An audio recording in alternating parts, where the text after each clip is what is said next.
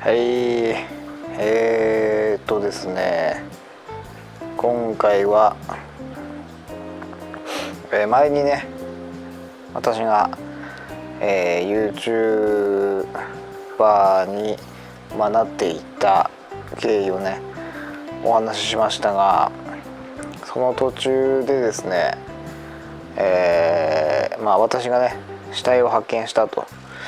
いう話をしましたけれども今回はねそれのまあ詳細をねお話ししようかなと思います。えー、遡ることですね今から3年前約約3年前になりますねもう、えー当時もね一応動画でちらっとは、えお話ししたんですけれどもその時はですねかなりこう伏せて伏せてあまりこうストレートな表現はせずに、えー動画をね出したんですけれどもまあ案の定ね訳がわからんというコメントがまあ多かったですね。はい。とはいえですねやっぱり中には察しのいい方もいらっしゃいましてもうそれをかなりね遠回しにいった、えー表現だったんですけれども、まあ、それでねおズバッと当てる方もいらっしゃいましたね。うん。その時はあまりにもびっくりしてですね、まあ、ちょっとなんだろうな、まあ誰かに聞いてもらいたいみたいな感じで、まあ撮影したんですけれどもね。はい。まあとりあえずね、えーそれはいいとして、えー今回ですねその時の、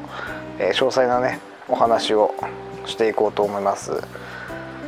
えーっとですねまあ3年前ですねちょうど私が YouTube を始めて何ヶ月か経った頃なんですけれども、えーその頃にですね、えーアクアリウムと渓流釣り、うん、渓流がメインだったかなその頃は。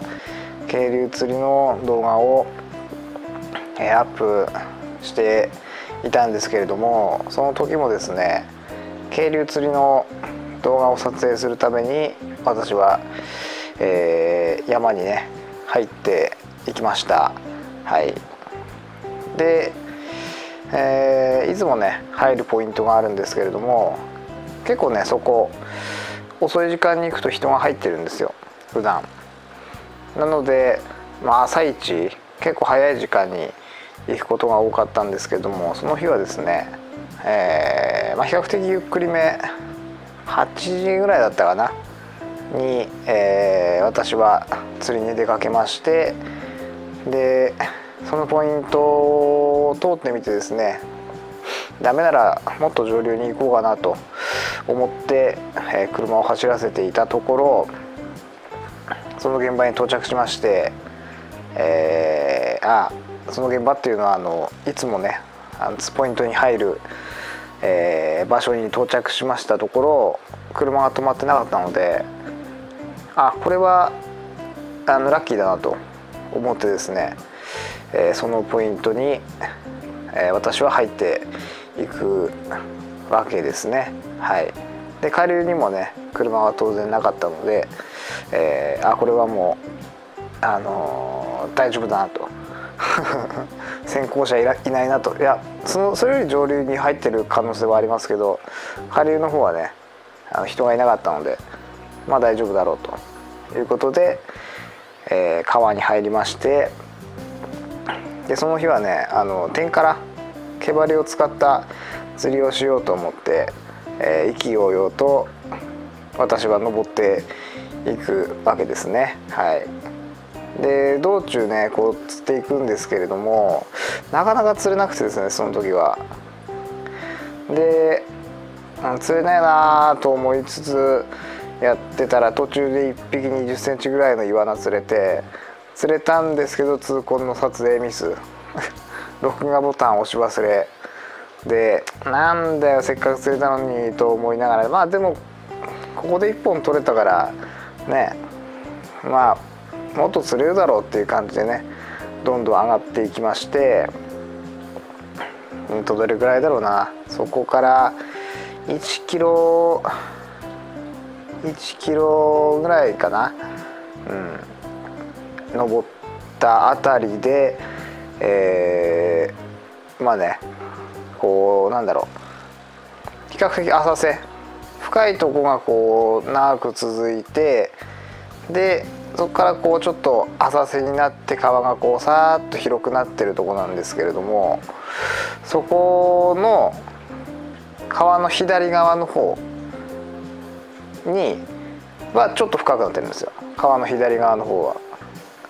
でその横にこうさーっと水が流れてるとこでこっち側は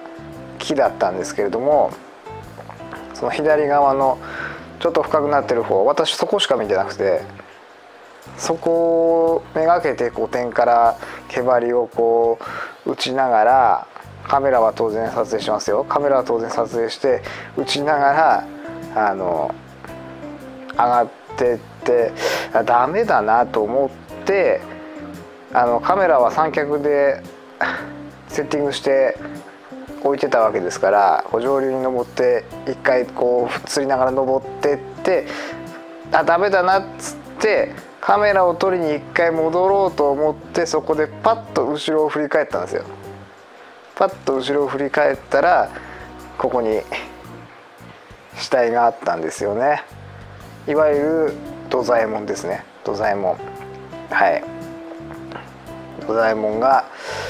まあ横たわってまして仰向けの状態だったんですよね仰向けの状態で横たわってましてで一瞬ね何か分かんなくて最初。足の方が見えるわけですよ。足の方が見えてで結構上流から流されてきたらしく服とかも全部なくてですね。丸裸な状態で仰向けで、えー、そこに、えー、あの仏様がおられたと。いうのをですね発見してしまいまして。でうん最初はもうな何か分かんなくて、うん、その状態のあの、死体っていうのはなかなか普段生活してると多分見ることそんなにないと思うんですよね。私は多分ね人生で多分初めてですねそういう状態の死体見たっていうのは。あのー、まあ身内の葬式とかはね行ったことありますけどちゃんとなんだろう繕ってあるというかね死体は見るんですけどまあ綺麗な状態なわけですよね。要はその人目に触れる状態になってるわけですから。でもその私が川で見つけたものはやっぱりこう上流から流されてきてるのでやっぱりその体にねやっぱ傷がついてるしあの結構日数も経ってたみたいであのガスでね体が膨らんでたりしてですね。うん。でパッと見はもうなんか分かんなくて「うん。え？っ?」ってあのなんだろうな。そこで一瞬でこれわこういう表現って言えばこれを伝わるか分かんないんですけど一瞬でそれが死体だと認識するんだけどでもそれを頭の中で一生懸命否定しようとするみたいな。だから分かってるんだけど分からないみたいな感覚。これね多分分かる人と分かんない人いると思うんですけどね。自分もちょっとうまく表現できないんですけど見た瞬間それをすごく感じてだから「え何これ？えいやえええっていうそういう感じでしたね。で、えー、よくよく見たらやっぱり死体で。で当然私はもうちょっとプチパニックになりつつもうあのこういう表現したらよくないかもしれないですけど本当に気持ち悪いんですよ。それが死体だって分かるとすごく気持ち悪いんです。うん。うわー大変なものにつけちゃったと思って。でとりあえずその場からこう離れるんですけどなんかその動くはずはないんですけどそれがなんか動くような気がして結局その人が動いてるっていうのが当たり前の環境でしか生きてないんでそれがなんか動かないでそこに横たわってるっていうのはすごく不気味なんですよね。で後ろ振り返り振り返りとにかくもう怖いからとりあえず車まで行こうっつって急いで車まで降りてで車のとこに戻ってきてもいやどうすっかなと思ってうん。でここで多分選択肢はね2つしかないんですよ。見て見ぬふりするか通報するかですよね。うん。ただ私のあの浅い情報だとですねあのなんだろう。第一発見者っていうのはとにかく疑われるっていうのが頭私の頭の中にあってですね。ちょっと迷ったんですよねその時。通報した方がいいのかそれともねなんかその私がそこでそれを発見したっていう証拠がねあるわけではないのでいや見て見ぬふりした方がいいのかっていうのはちょっとよぎったんですよね。うん、ちょっとよぎったけどでもそれを俺は自分の心の中に止めておけるのだろうか果たしてと。この気持ち悪さを俺はずっとこう思ったままあの釣り場にまた行けるんだろうかっていう。もちろん誰かは発見したとは思うんですけど私がそこで通報しなかったとしてもね。だけどやっぱりあのなんだろう。やっぱり後味は絶対悪いよなと思ってですね。で結局まああのあそこがね電波通じないとこだったので下流の方に下がってですね電波通じるとこまで行ってで通報しましてはい。でまあこうこうこうでって言って説明してですねあのー、で警察官の人に「うんとすぐ近くですか?」って言われたんですけどいやあの電波届かないとこなのでちょっとあの山に入っていかなきゃないですって言って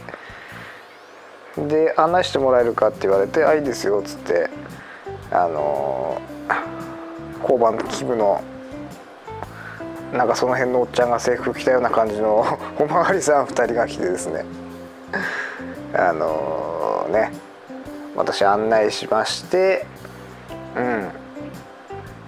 ん。で、えー、あとはねまあ事情聴取軽くですけどねその場で事情聴取されて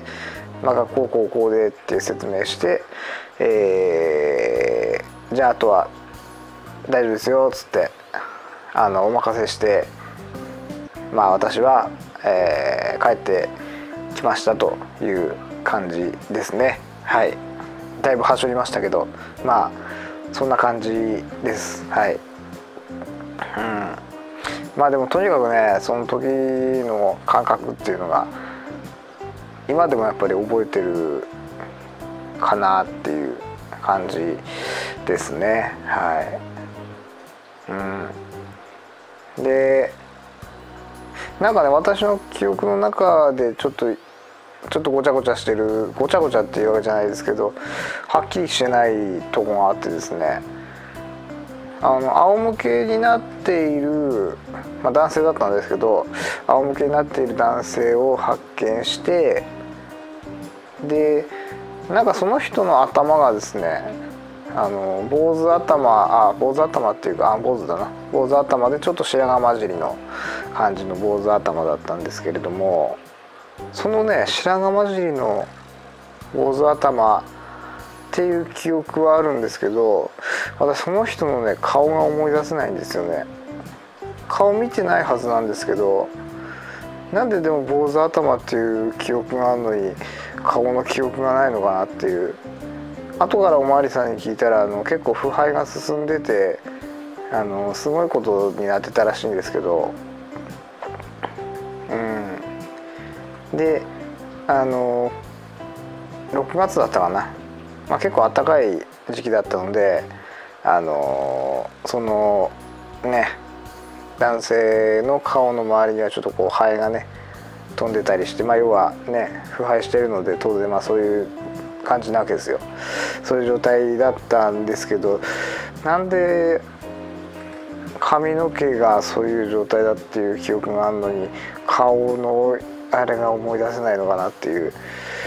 まあいいんですけどね。多分そのすごい状態だったんだろうなって思うんですけどなん見てないはずないのになんで記憶にないんだろうっていう感じのとこがちょっとあったりしてですね。自然とあれなのかな？消去しちゃうってやつなんですかね？うん。まあねなんかそういうこともあったりします。はい。うん。思い出さない方がいいとこなんでしょうけどね多分ね。ちょっとでも自分の中で不思議だなっていう感じもあったりしますね。はい。うん。はい。以上。以上だな。まあそんな感じでした。はい、まあ、死体を死体を見つけた話っていうのはもうそういう話ですね。本当にストレートに私が渓流に行って、えー、死体を発見したという話です。はい、うん、で幸いですねその方はあの身元が分かってですね、えー、まあその後ご家族の方からですねあのまあありがとうございましたってねお礼言われたりしてまあ結果的にねちゃんと通報してよかったなって。で全然ねあの疑われるようなこともなかったのではい。若干あの職質受ける時にあのねあのご職業何されてるんですかっていうねまだその頃農業駆け出しだったのでなんか農業ですってはっきり言えないみたいな「えー、いやあの仕事は、うん、うちの農家手伝ってるんですけどみたいな。ちょっとそれがあの自分の中で歯がゆかったようなとこもありますけどまあそれどころじゃなかったからねその時はね。うん。まあねそんな感じでした。ちょっと説明が あれですけどまあ大筋は伝わったんじゃないかなと思います。はい。まあねほんと皆さんもねそういうことありますんでまあするしないはね。自分で決める。いやしなきゃならないんだろうけれどもね。うん。まあねあのうん。そういう感じでした。もうどうどうしろとも言えないけど、うん、そうですね。まあでもやっぱり山に入る山だけじゃないけどね。やっぱそういうのに出くわすこともあるんだなっていう頭があるともう少し冷静にいられるのかなっていう感じでしたね。はい。うん。ですね。はい。うん。で結局ねあの私はちょっとそれ以来気持ち悪くなっちゃってですね。まあ渓流には何回か行ってるんですけれども動画にもしてますしね。してるんですけどあのやっぱり未だにちょっとねその気持ち悪さっていうのはあの払拭しきれてないとこはありますね、うん、だからどっちかっていうと川より川っていうか山に行くと誰もいないので本当。うん。だからなんかね巷で見つけるのとまた違うかなっていうのであの海には今行くんですよね。海の方があのそういう気持ち悪さっていうのはあまり感じずに私は行けるので、えー、まあ、海の方に行ってますね私は。ちょっと川はなんかもうあるんじゃないかっていう頭がねそんななんかそうそうある話じゃないんですけどね。そうそうある話じゃないんですけどやっぱどっかねそういうふうに思ってしまうえー、自分がいますね。はいということでちょっと長くなりましたが、えー、今回はですね、えー、川で、え死体を見つけたお話でありました。はい、うん、ちょっと生々しい部分もありましたけれどもまあ実際ねもうリアルに、え見たものをね見たものというかこう体験したことをね話してみました。はい以上です。